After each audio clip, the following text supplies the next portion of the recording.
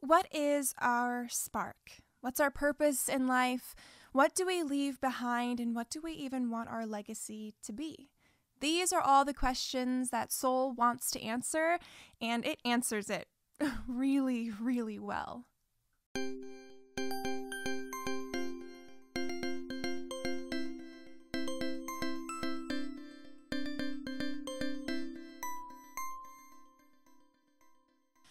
Soul, we meet a character named Joe Gardner, who is a jazz pianist and a middle school band teacher. He's been working his entire life to get his big break in the music industry because all he's ever wanted to be ever since he was little was a jazz musician. And so once he finally gets his big break in the Big Apple, he falls down a manhole and. it was actually really weird to see that within the first five minutes of the movie, we have our main character pass away. Um, and you know that I was a little worried about that because seeing the trailers, you think that oh, you have the first black protagonist in a Pixar movie in the entire studio history, and we lose his body within the first five minutes. I thought it was going to be another like Tiana thing, you know, when she was a frog for most of the movie. But once I actually sat down and saw Soul, it was so much more than I could have ever imagined.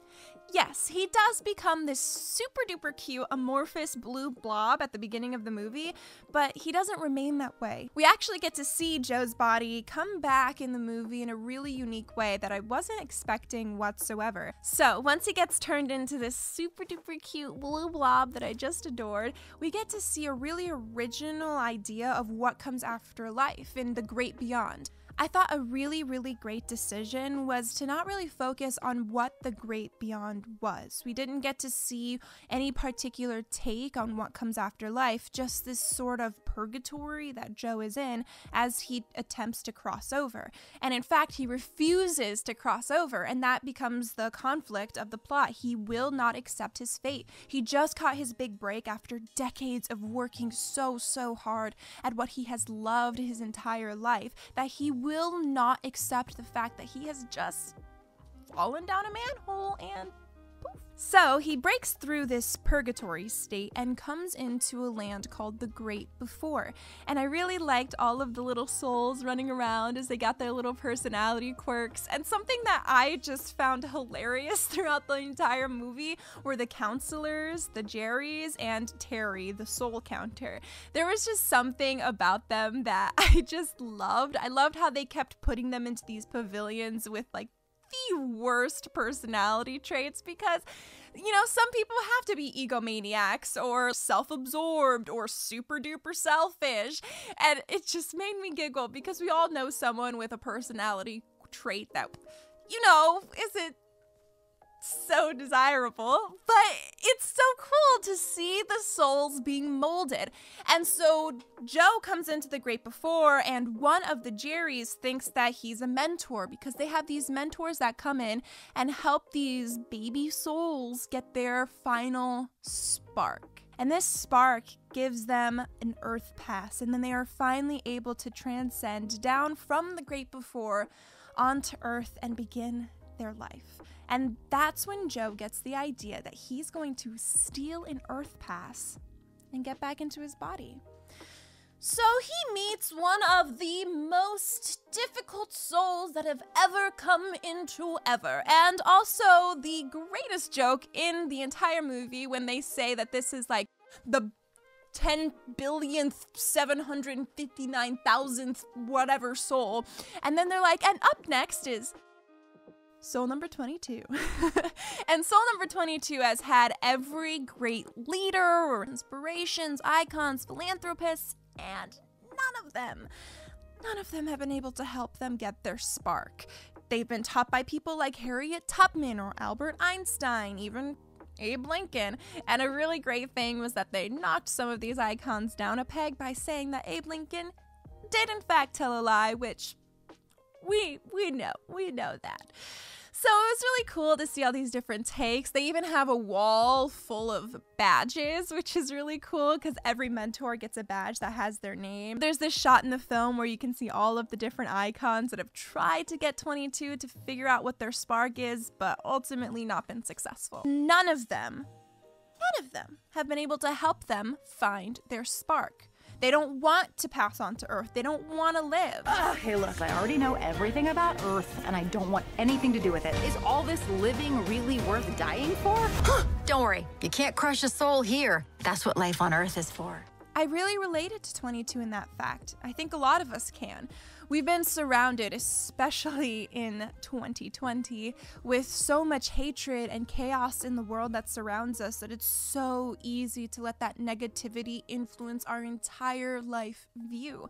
And 22 has that negative mindset. Why should they pass on to a corporeal body when there is nothing on earth that interests them? They've got a routine, they're completely satisfied, and they're content, and they don't really want to take another step forward. So, our protagonist protagonist, Joe, is encountered with the most difficult task of training the untrainable baby soul in order to get their spark. There are so many nods in this film to how wonderful teachers are.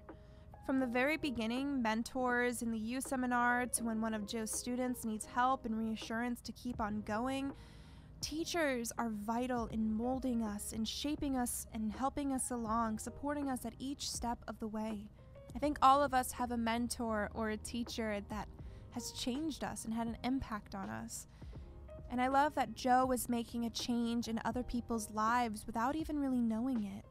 One of the people that gives him that big break that we see at the very beginning is a former student of his who's come back to say how happy he is, how grateful he is to have had him as a teacher. There you have it. We have Joe trying to get 22's Earth badge so he's able to go back into his body and live out his life, while 22 is trying to permanently get rid of their Earth badge so that they're never forced to live. It goes into this concept that none of us really choose to be here. We are born and we exist and we live out our life and we're on this journey and it's a miracle to be alive. It's a miracle to be here. And as 22 goes about this journey with Joe, they start to realize that there's more to life than all of the bad things that they've heard about on Earth. There's the yummy taste of pizza, or the crisp wind on your face, the changing of the seasons. This movie has a lot of heavy, heavy themes life and death, what comes after life, why we're here, what makes us who we are, why are we the way we are, are we going to have a regret on the way that we lived our life day in and day out? I know a lot of people might watch this movie and think that, mm, I don't think it's suitable for kids, but I would have to disagree. I'm not a parent myself, but I have taught children, I have performed for children, and they are extremely, extremely perceptive. I think that they're really going to enjoy the great before. They're going to enjoy the fact that they get to see the way that souls are made. I think some children might even be like, "Oh, I know what my spark is," or "Oh, I know the, what attributes I have," or "What I know what Jerry gave me." I think a lot of kids are going to like 22. I think they're going to like their shenanigans and their brevity and the way that they look at the world with this innocence and great imagination. And I think that adults are really going to like Joe. I think this is a movie that kids can enjoy, but there are some facets of it that make me believe that it was made for adults. It's almost a love letter, especially to creative people. It's a love letter to people who have this passion that is all consuming in their life. They work everything towards, they put their all towards. And it's a really, really hard journey. As an actor myself, it's daunting to know that all the odds are stacked against you. And even if you work your hardest at it, there's no guarantee that you're ever going to truly achieve what you set out to. But that's not what matters. And that's what soul tells us. What matters is not our passions or our hobbies or our goals. What matters are our connections, those little tiny everyday moments that we get to see and experience. The magic of being alive, of getting our earth pass, of being put onto this earth to live a journey no matter which way it goes. And Joe has to be reminded of that. And I think that we have to be reminded of that too. I think in 2021, Soul is the exact right film for the moment. It reminds us that our successes and failures don't determine the value or the essence of who we are. We are our journey. We are those little moments stacked up and piled together. We are our loved ones and our friends, and the laughter and the cries and the pain and the tears and the joy. It's all of the good moments and all of the bad moments strung together in this beautiful thing that we call life. So if we are not defined by our productivity, by fame or fortune or success, our fulfillment then comes from within us. All that we ever needed was inside us, all along. And that's just the message that Pixar does so supremely well. Soul was actually directed by Pete Docter, who also directed the iconic Pixar movies Monsters Inc., Up, and Inside Out. In fact, you can see a lot of parallels between Inside Out and Soul. Inside Out's all about the inner workings of our mind and the way that our mental health works, whereas Soul is all about the inner workings of our spiritual selves and the interconnectivity that we have within us, around us, and with the world itself. And it's really, really beautiful. I think in all of Docter's films, there are these heavy themes that allow children not only to have fun with the comedic moments, but for adults to really digest and mull over and enjoy. Soul was also co directed by Kemp Powers, who is the first black director of a feature film in Pixar's history as a studio. So, Soul not only had the first black protagonist, but also the first black director, which is just an insane accomplishment. More insane is that it took this long for us to get here, but hey, better late than never. In an interview on Slate.com with Rachelle Hampton, Kemp Powers talks about the immense amount of stress that he was under when creating Joe. He wanted to make sure that the representation was good and that he did right by his people. He also talks about how Pixar had its black employees helping every step of the way, which is such a great thing that they did. They made sure that their employees were helping with character designs and set designs, and they brought in external experts too to make sure their animators knew just what to do. One of these experts was Bradford Young, who helped with cinematography. He had worked as director of photography on Ava DuVernay's When They See Us and Selma, and so he's an expert on lighting black skin. Pixar animators also went into a black barber shop and made sure that they knew exactly how to detail tools and black hair. We've all come to know Pixar as an incredible animation studio, and Powers felt the same way. One of the things that he really wanted to see in his film was a barbershop scene because he wanted to see black hair animated. And it's actually one of my favorite scenes, if not my favorite scene, in the entire film. There's one character there, his name is Dez, he's the barber, and he talks about how his dream was actually to become a veterinarian. Unfortunately, he couldn't because his daughter was born and he needed to provide for her. The matter of the fact is that all of us have something that we're passionate about, that we want to achieve in our lives. But sometimes that's not what occurs. Sometimes things don't work out. Sometimes we try our hardest and we keep trying and we give everything we have to this one singular thing and it's still not enough. And that's not anything on us. That doesn't say anything about who we are or what we can do or what we're capable of. Sometimes that's just what it is. And this movie tells us that it's okay, that it's fine if we don't achieve our life's goal or if we don't have a big and all encompassing passion.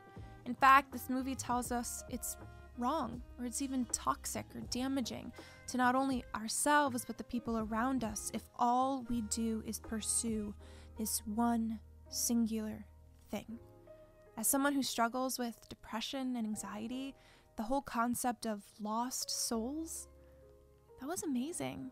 These lost souls are there to show us that our passions can so easily become obsessions, that the things that brought us love and light and laughter and joy can turn to hatred and self doubt and feelings of worthlessness. We can so easily lose ourselves to hatred, to those feelings that we need to do something, need to reach somewhere.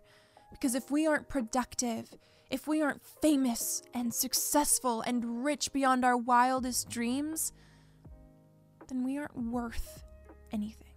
I think one of my biggest critiques of the movie is that I wish we would have learned more about Joe's father, about Joe as a person. There's a mentioned love interest that would have been cool to see, but I think there's also merits in us not knowing that because it ties back into passion and obsession. And he was so obsessed that all his life was was music.